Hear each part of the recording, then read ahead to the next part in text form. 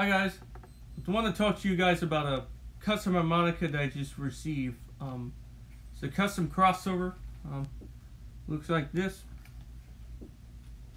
If You open that up.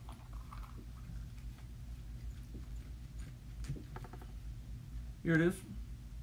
So heavy, actually. This comb reminds me of the um, Hohner Marine Band, actually. Wow. It's already got the key label in. This is a C.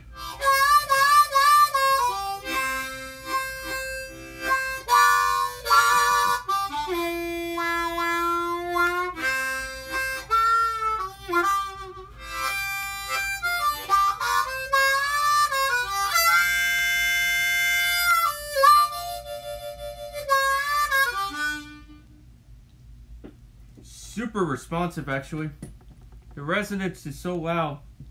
The harmonica tuning and reed replacement. Um, it's got an extended reed plates actually. Um, take a look at the difference and see the weight. This one's heavy. I got another crossover. This is stock. Um, and this one's uh, stock weight. And this one's heavy. Um, let's take a listen to the difference. Different key. This is A.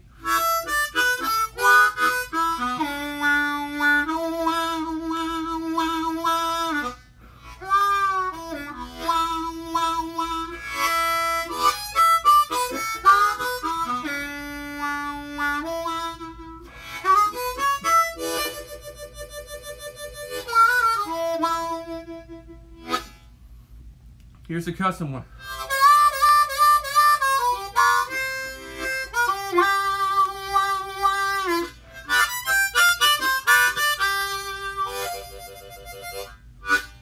I do have other C harmonicas though. Uh, special 20. Um, this one has a warm tone. This is stock. Here's a custom one. Well, I like this one better. In Special 20. Here's crossover.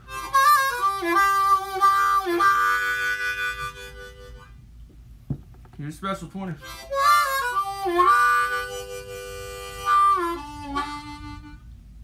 By the way, uh, this one overblows actually on 6.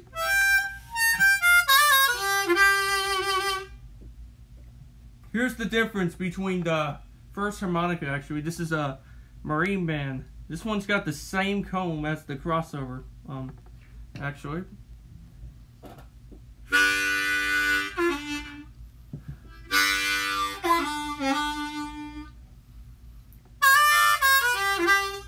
Here's Marine Band.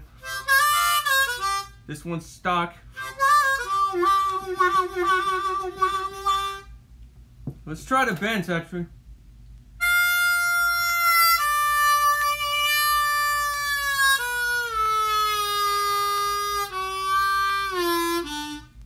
Wow, this one's actually bendable.